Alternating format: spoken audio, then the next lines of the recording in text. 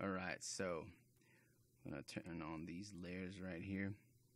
When you're working with Photoshop, it's important to understand that when you move an object or whenever you do anything to the actual document, you can take a step back or undo what you had previously done using edit and undo.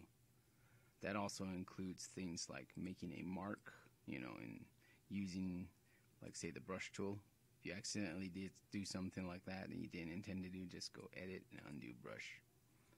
You rearrange an item accidentally or do something. You see, I rearranged the stacking order, and then I can just take a step back. See, it says undo layer order.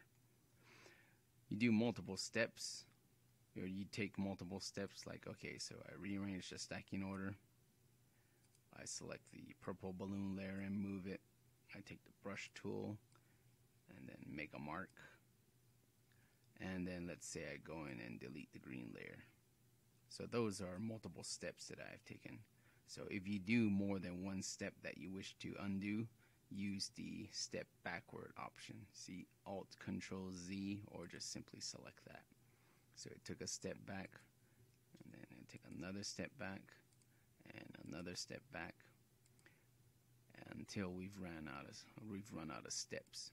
So we've gone as far back as Photoshop has kept track of as far as all of our recent moves go. So anytime you do multiple steps, if you want to take a step back, you can use a single step back, which will take care of the most current step, or use this feature here, which will allow you to go backwards as well as forwards.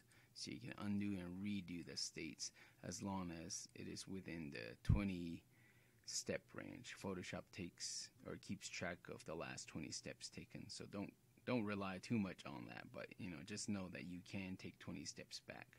Anything beyond that, the more steps you take, the most recent one or the earliest step you had taken will be deleted.